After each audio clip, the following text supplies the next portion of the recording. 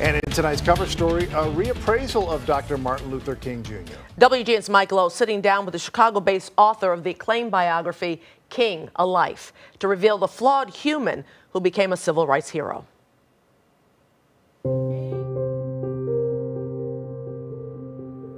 When a man becomes a monument, his legend is forever remembered, but his life is often forgotten.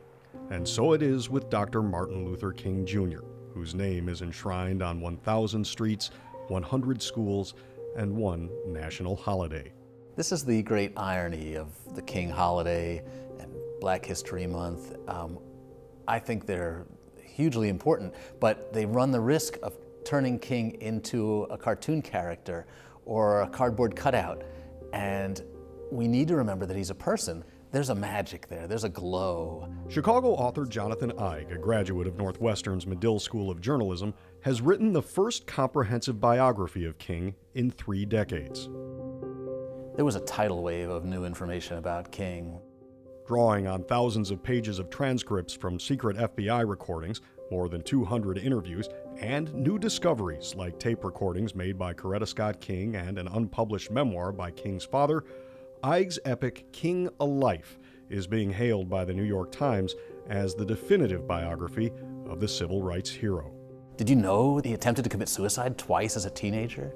Did you know that he suffered depression most of his life? I felt like we needed a book. I wanted to read a book that helped me understand King as a person. I think this has been one of the great days of America.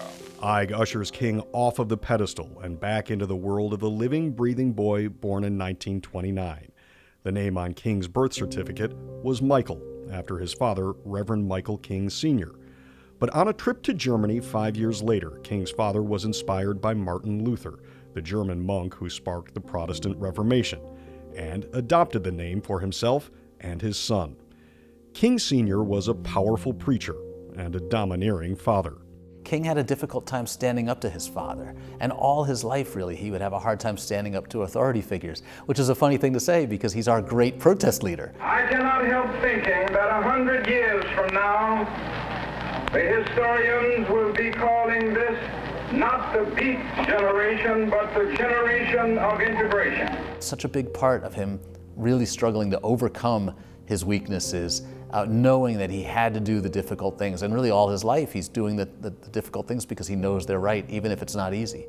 It's a trait King displayed on the eve of the Montgomery bus march. Uh, the injustices which we have experienced on the buses. He was just 26 years old when he was asked to speak. King became a founding father of the United States of America on December 5th, 1955. And I say that because in that moment, he stood up to, to say that we can fulfill the promises of the Constitution. We could bring this country closer to the promise of equal justice for all. He delivered a stirring speech that unlocked the genius of his oratorical skills, the ability to transcend his immediate audience. He said, If we are wrong, the Supreme Court of this nation is wrong. If we are wrong, the Constitution of the United States is wrong. If we are wrong, God Almighty is wrong. I want to say to you once more that we. He became the leading figure in the civil rights movement and was viewed as a threat to the establishment in Washington. In 1963, the FBI, authorized by Attorney General Robert F. Kennedy, into the fight against communism, began wiretapping his phone and bugging his motel and hotel rooms. At first, they were investigating because they feared King was plotting to align the civil rights movement with the Communist Party. Was that, in fact, the case? No, King was never interested in communism. He's one of our great patriots. He was trying to make this a more perfect union. But by the time they got to that conclusion, they had heard him on the phone with women, women other than Coretta. And he was clearly engaged in relationships with some of these women. And that became the obsession of the FBI. Why was his infidelity important enough to reauthorize wiretaps? I would say his infidelity was not important enough to reauthorize wiretaps. We of the FBI feel that we're a part of a team to make America a great and decent place in which to live.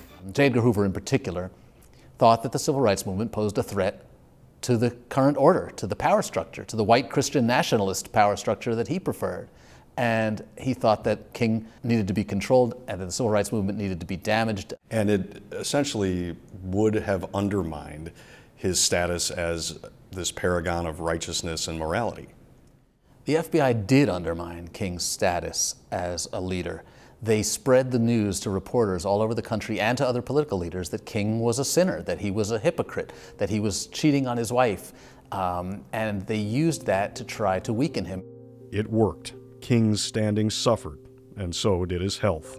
He was hospitalized numerous times, and, and he called it exhaustion, but now we would certainly describe it as depression. In fact, the day King was notified that he won the Nobel Peace Prize, he was in an Atlanta hospital bed.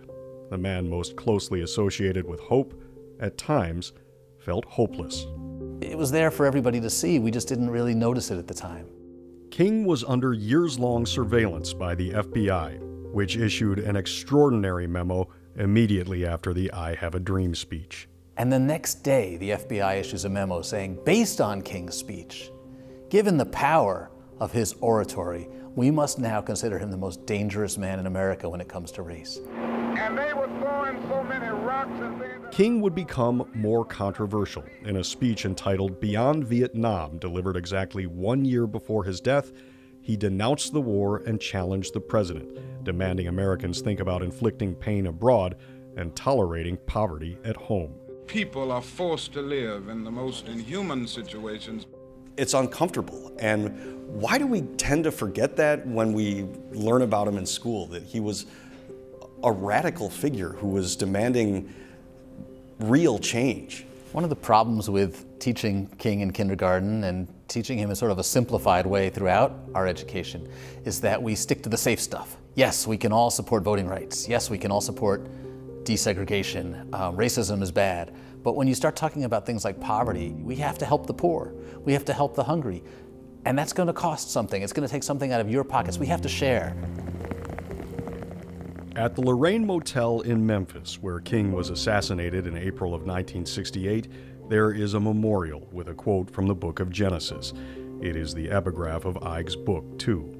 They said to one another, Behold, this dreamer cometh. Let us slay him, and we shall see what will become of his dreams.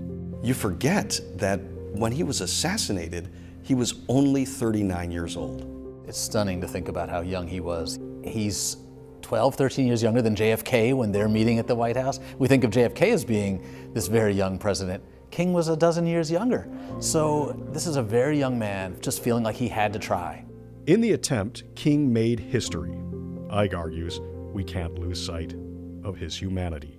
Because if we can't see him as a person, then we can't really follow in his footsteps. You can't ask anybody to become a leader, to take the risk of putting themselves out in front if they have to be perfect. In Evanston, Mike Lowe, WGN News.